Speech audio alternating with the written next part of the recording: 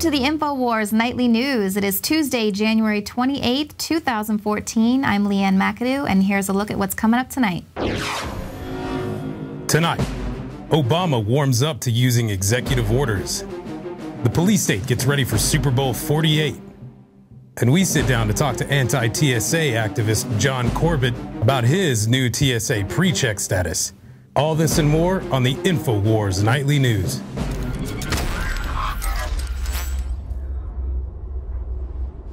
Mr. Speaker, Mr. Vice President, members of Congress, fellow Americans. 51 years ago, John F. Kennedy declared to this chamber that the Constitution makes us not rivals for power, but partners for progress.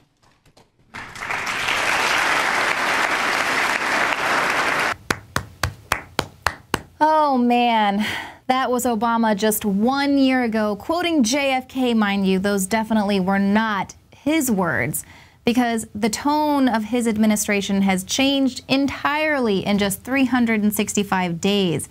Tonight, we can't await the State of the Regime address when Obama announces his assertion of his unilateral agenda and lets the country know that it's moving into a dictatorship. That's right.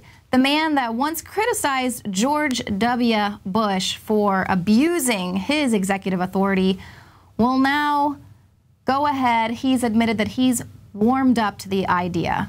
That's according to his White House advisor, John Podesta, who says that when Obama believes he has the authority to make progress without action by Congress, he will do it. Now, he says there's a lot of authority that's vested to Obama under the laws of the United States, and he thinks that Obama's really looking forward to a year of action and to tonight when he gives his State of the Union speech.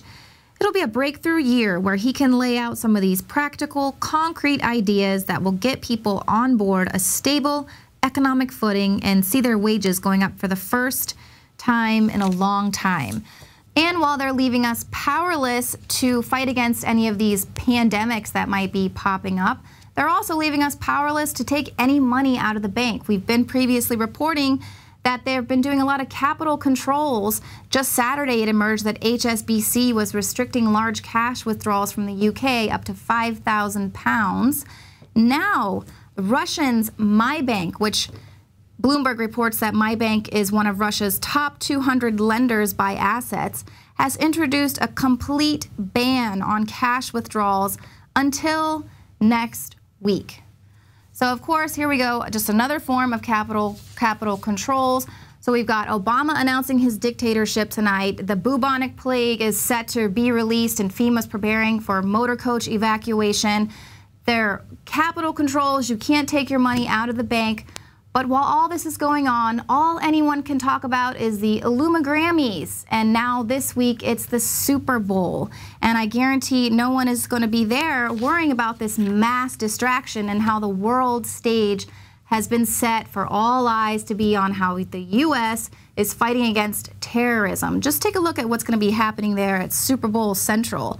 They've already declared it a level one national security event, which basically that means Homeland Security's Presidential Directive 5 kicks in, which means the feds will take the lead in any security operations in New Jersey and New York. Incredible. And then the priority order for any possible threats would include a suicide bombing, vehicles laden with explosives, or, of course, you know, another mass shooting. In addition to these traditional terrorists, officials are anticipating the possibility of hacktivists with political and social messages to take advantage of social media to spread disinformation and sow confusion, much like the Syrian Electronic Army hacked into CNN's Twitter and sowed mass confusion about the Al Qaeda backing the rebels in Syria. But they also go on to say that they're going to be x raying every single thing that comes in and out of the stadium the food, the seat cushions, every beverage, every piece of merchandise. And of course, they're going to violate the Fourth Amendment by doing searches on the trains to and from the stadium on random passersby, anyone that's going to and from. They'll have canines everywhere. And that's in addition to the air exercises and the the Navy patrolling the waters there. I mean, it is going to be a mad house. But go ahead, keep your eyes on the game. That's all that matters. While the real game is being played out here by the globalist, they are using this as a mass distraction to go ahead and assert their total authoritarianism while we just sit back and take it. And just to prove how contrived this TSA is just security theater, it's not there to protect us from terrorism. We're going to have an interview coming up with John Corbett. He's the activist of the TSA Out of My Pants website. He was the first civilian to sue the agency, and based, based on court documents, he was able to expose how the agency's own documents show that there was no real terrorist threat, nothing even in the past 30 years. Now he has just been given a lifetime get out of jail free pass by the TSA. They've given him a lifetime skip right through the gropey hands of the lines of the TSA because he actually asserted his rights as a free citizen and they were like, you know what, you're making a little too much noise. Go ahead, we're going to just give you a free pass. You don't have to deal with the TSA. So that's really what this thing is all about. It's just to assert total control. Are you going to sit down and take it?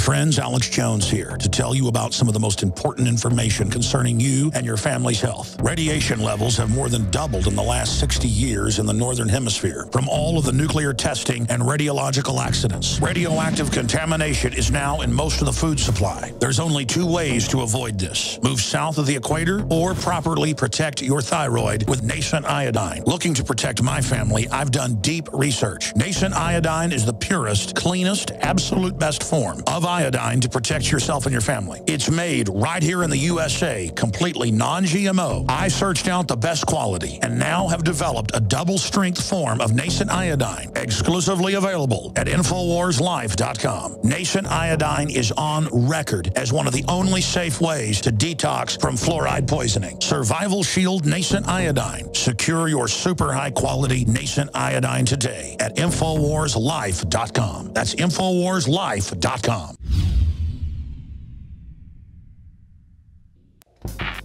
We're on the march. The Empire's on the run.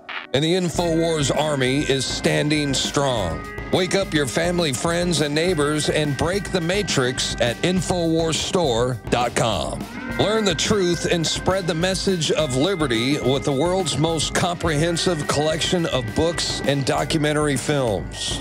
Maintain a healthy metabolism and energize your body to perform at peak health with Survival Shield Nascent Iodine. Protect your family and be prepared with survival foods and emergency preparedness kits. And now you can drink safe water with your own ProPure water filtration system, which removes fluoride and other harmful chemicals from your family's water supply. Save 10% with the promo code WATER. So join the revolution. InfoWarsStore.com.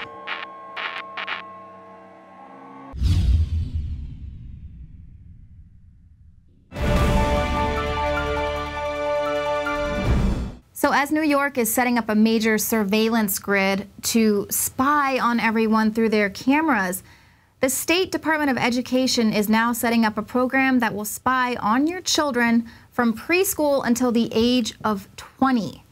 Now, this was developed by the New York State Education Department. It was funded by the federal government and it's promoted by the Bill and Melinda Gates Foundation. Hmm, it's the P20 Data Collection Program.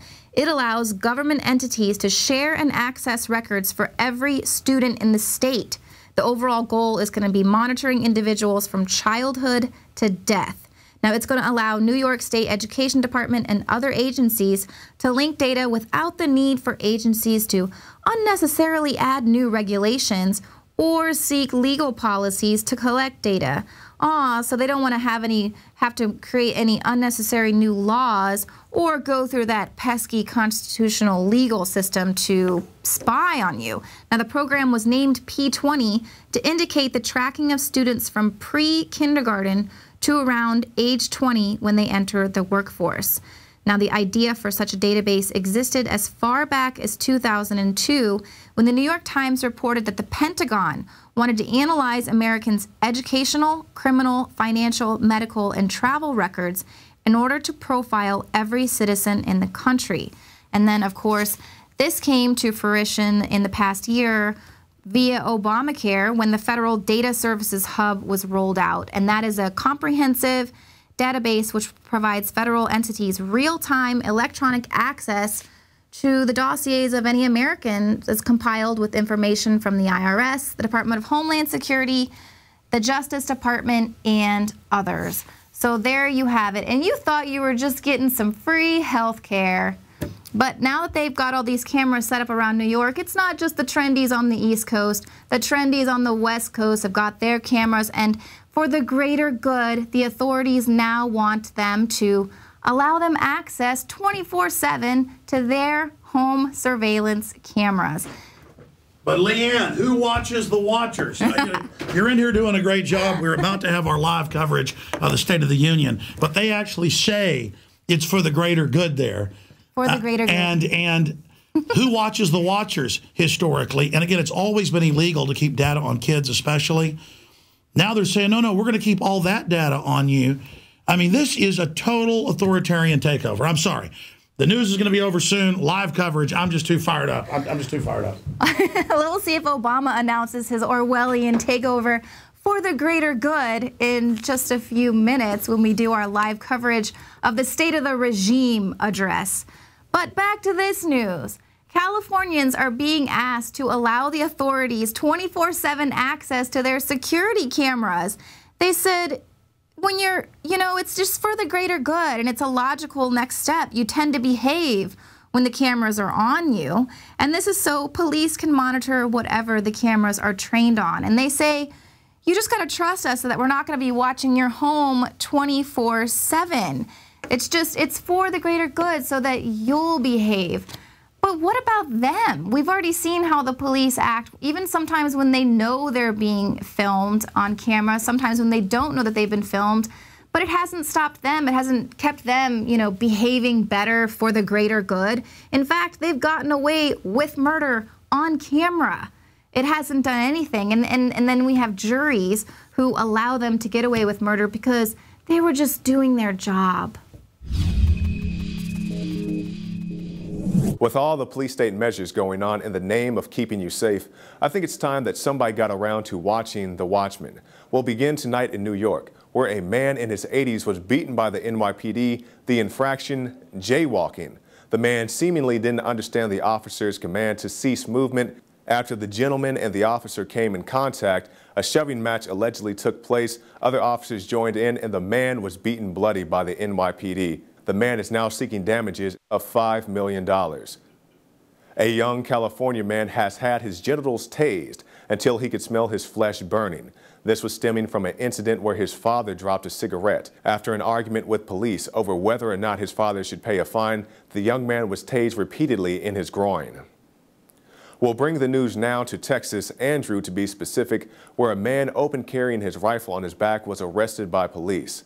The reports say that a school was nearby but didn't specify the man's distance from the school. Even the person who called in to complain about the man says that he was not carrying in a manner calculated to cause alarm. He was just calmly walking. You wouldn't think anything of it unless he didn't have a gun. The local open carry group has released audio of what they say is a meeting between themselves and Bud Jones, the police chief of Andrew, where he said that he would not arrest law-abiding open carriers disturbing the peace or disorderly conduct Well, because if- of a person calling in a 911 Okay. and them justifying Yeah, that. Okay, okay, here's, here's how that works. If, if we get a, a nine-one call, person gun, that person, I says, hey, I'm so-and-so, I live over at so-and-so, they're not gonna go to jail. Yeah. They're not gonna be charged. It's when they have caused some alarm. We move the news now to LAX, where it's come out that officers were taking unapproved breaks right before the shooting rampage. But don't worry, TSA plans to keep you safe by allowing known terrorists to bypass security measures completely. But let's end tonight